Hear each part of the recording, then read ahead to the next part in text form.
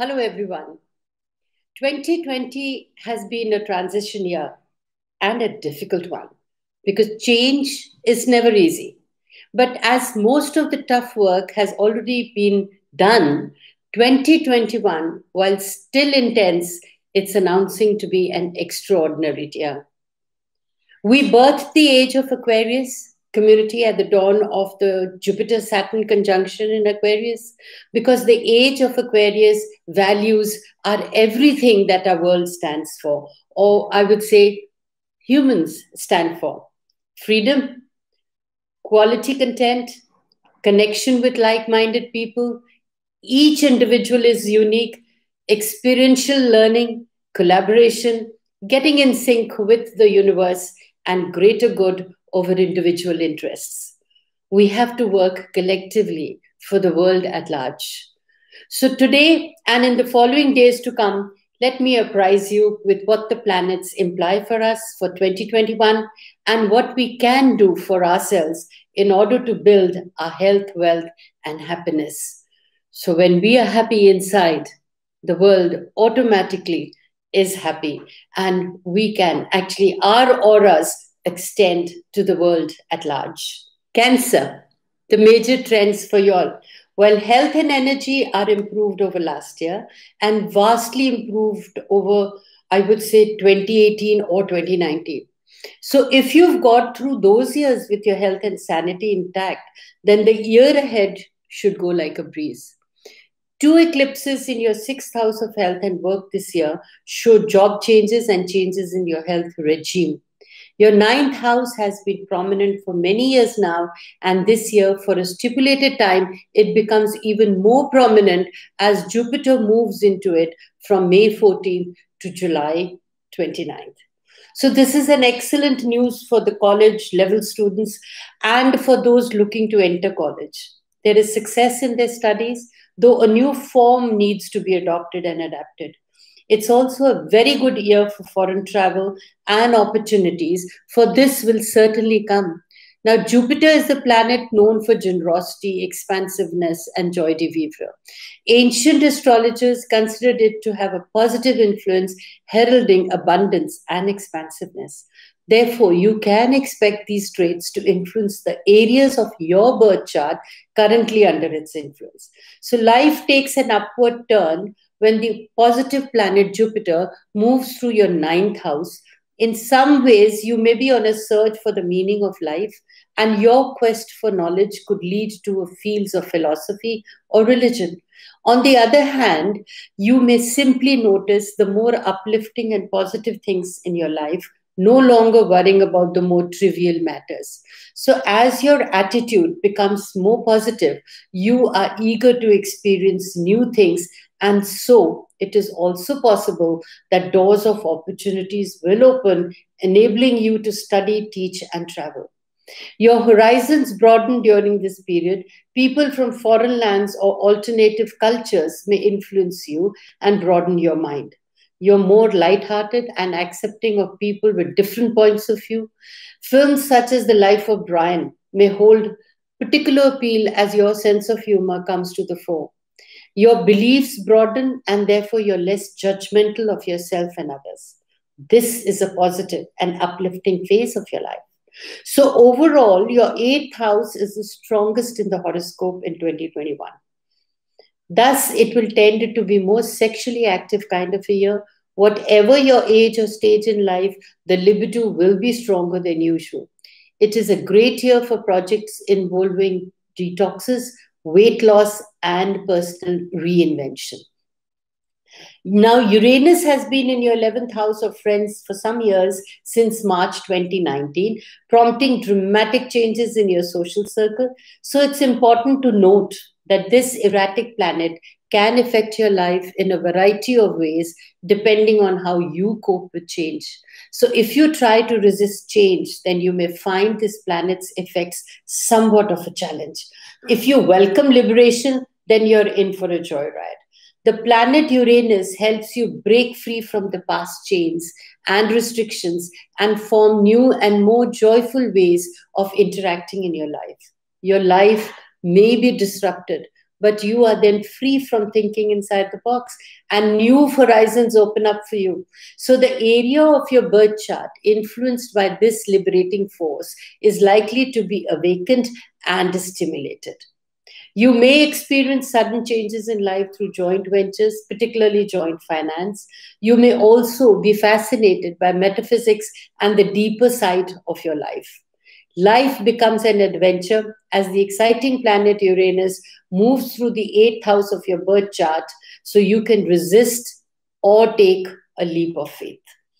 Often this happens because of personal dramas in friends' lives and not necessarily because of the relationship itself. But in the coming years, you will find yourself in a new and better circle of friends. Now that the Saturn has left your seventh house of love, the love life should be much improved.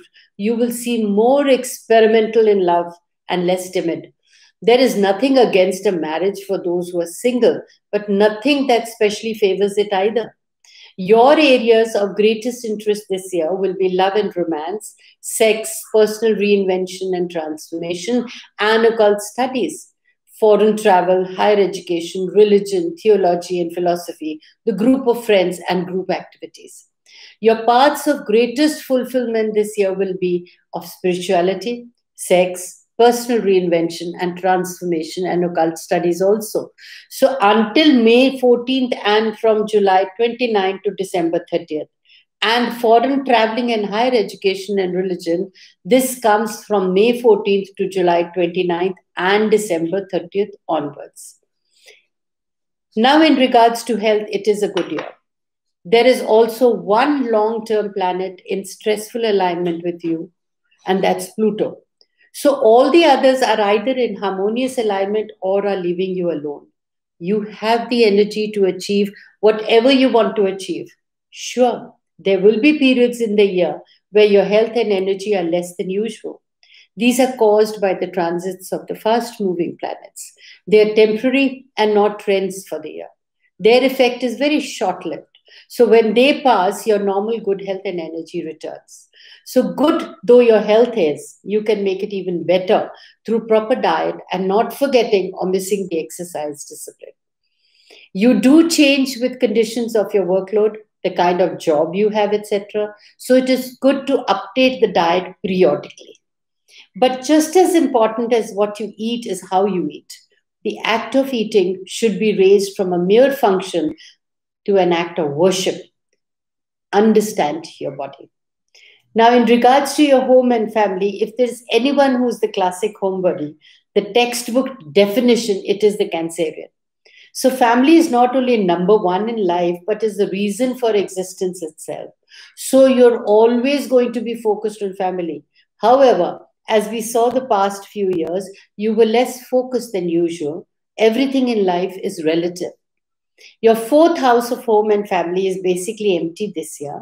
So only short term planets will move through there, and their influence will be temporary, not the trends for the year.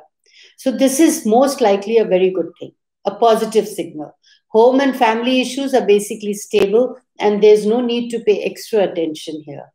Parent and parent figures in your life are having a status quo home and family year. So the family year does not seem complicated at all. If you're planning a major renovation of the home, October will seem a good month to do it. If you're planning simply to redecorate to beautify the home, then probably uh, August 16th to September 17th is a good time. Because fast moving Venus is your family planet, she moves through your entire horoscope in the course of a year. So there are many short term trends with the family in regards to finance and career. As has been the case for some years now, your money house is basically empty. Only fast moving planets will move through there during the year, and their effect again will be temporary. So basically, your finances tend to be the status quo. You will seem content with things as they are and have no need to pay special attention or get stressed out two solar eclipses during the year, one on June 10th and the other on December 4th, will force changes in the financial lives or probably in the strategy, the thinking, the planning. You will go through this twice a year, and by now, you know how to handle these things. These changes will tend to be good. the events of the eclipses will reveal where your financial thinking and planning have been unrealistic or not. So, generally, certain assumptions are shown to be false, so you can rectify them during that time. Your financial planet, the Sun, will make very nice aspects to Jupiter, the planet of abundance, from January 24 to 29, June 22nd to 24th, and October 14 to 16th. These should be specially good financial periods. They're also good periods for job seekers. So the sun is a fast moving planet moving through all the signs and houses of your horoscope over the year. So there are short term financial trends and depends on where the sun is and what kind of aspect he receives. So in general, we have a very good feeling for the entertainment world, for electrical utilities and power companies and for industries that cater to youth. But with the sun moving through the entire horoscope, money and financial opportunity can come from many places and many different people. So your 10th house of career is also devoid of long-term planets with only short-term planets flitting through there during the year. Now, normal, I feel this is a good thing. So you'll be content with the status quo and have no need to pay special focus here or get stressed out. So the love planet in the eighth house shows the romance and romantic opportunities can happen at peculiar gatherings. Now, this is for singles. With Saturn as your love planet, you prefer those older to you and those who have a youthful outlook. You could gravitate to uh, corporate type, settled people. Perhaps they're executives in high tech company. I don't see a marriage here this year. However, there are love affairs happening. They might seem serious, but don't think they will lead to marriage. Enjoy your relationship for what it is.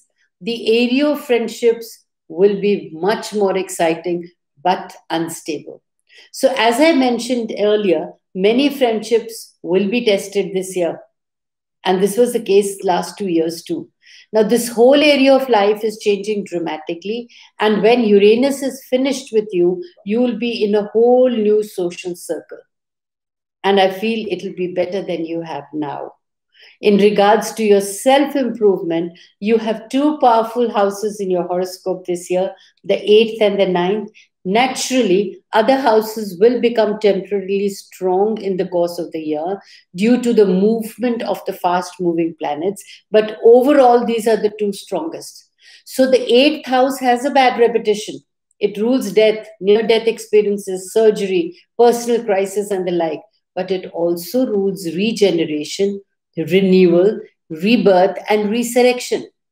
Superficially, this is a scary place, but there are treasures here for one who inquires deeper. After death comes resurrection. In fact, you cannot separate the two.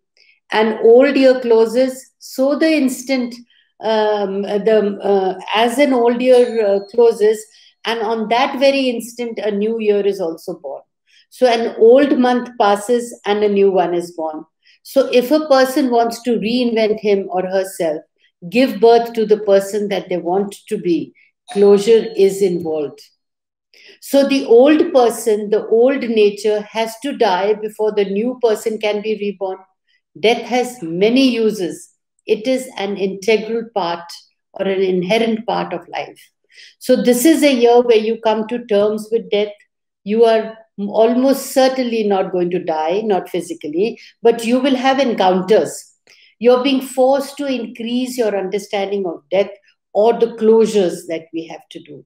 So, this is a year where you have the power and energy to give birth to the person you want to be, to be your ideal self. So, demise is involved, psychological demise.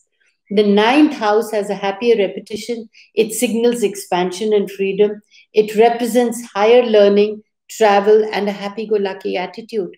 It's no accident that the expansion and freedom comes after the eighth house. So, without the psychological deaths, changes, and purging of the eighth house, the ninth house won't function properly. The things that restricted freedom have to die or be purged from the system. Now, Jupiter will move into your ninth house briefly this year from May 14th to July 29th for about two and a half months. Next year, he'll be there for a long haul. So, this year's sojourn is preparation. Jupiter will bring insights into your theological and religious beliefs. And these are the things upon which we live our lives. There is a belief from your that speaks of every problem in life is ultimately a theological one at heart. The problem can seem unrelated to theology. It can be a financial problem, a relationship problem, or a health issue.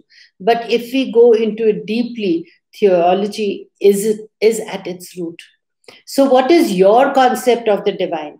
Clear up the theological problem, and the other problems will melt away. This is a year for religious and philosophical breakthroughs, preparations for great things to happen. Delve into your natal charts, understand where the transit planets, which house are they affecting for you, and then plan your 2029 because it's a great year for closures and again resurrections, again transformations, which have beautiful manif- uh, manifestations in 2022. So, till then, stay blessed and have a great year ahead, planning what you want to do, what is the type of person that you want to become. So, you need to put closures for the new to emerge.